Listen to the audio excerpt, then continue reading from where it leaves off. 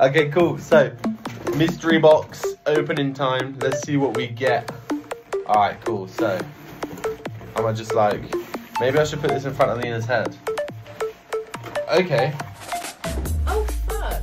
Wow. Oh shit! You get some cool stuff. I was gonna say a cup too, and then I thought I didn't feel heavy enough. Warhammer Champions Oh. trading card game. I fucking used to love Warhammer. I You know? I used to like paint so these figurines and shit, so that's gas. Jeez, there's actually a lot in here, right? So I got the yeah the Warhammer trading card game, which is fucking cool. I ca- I'm yeah okay cool. Right.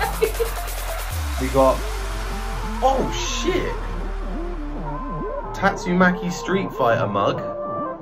Okay, I was gonna say a mug as well. that's but I thought- banging. Okay. We got an Overwatch sticker collection for Overwatch, which is kind of cool. I don't know what. Activated? Overwatch does slap, to be fair. Dude, I don't want to give any of this. away. Hold up. Oh my days, a Call of Duty Black Ops tactical keychain. Key, tactical keychain. It's got a compass and a. It's got like the Modern Warfare uh, Black Ops 4 symbol.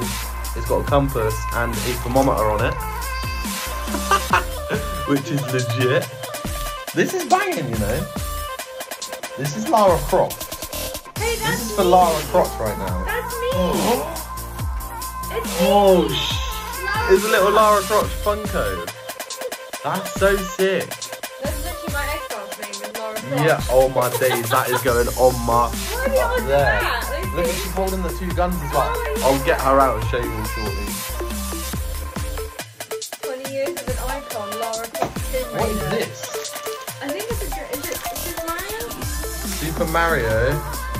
Super Mario Sport Towel. It's literally all That's fucking cool. you as well. This So is sick. Okay, cool. Right, so Lightseekers Awakening. Equip your weapon and it instantly appears in the game. Okay, so this is. I'm assuming this was for. Oh, I remember this was a game which was like part of like the fusion thing. So it's a Lightseekers. It's a sword and the card which goes with part of the game, I guess. so that's kind of cool. And then last but not least. Oh shit, sorry. Are there any Apex Legends super fans in the building? Because I have the ultimate guide for Apex Legends. It's independent and unofficial. You probably do that. You're not some good shit. I'm pretty crap at Apex Legends. so like, it's got quick tips, all that sort of stuff. But this is, to be fair, we empty now.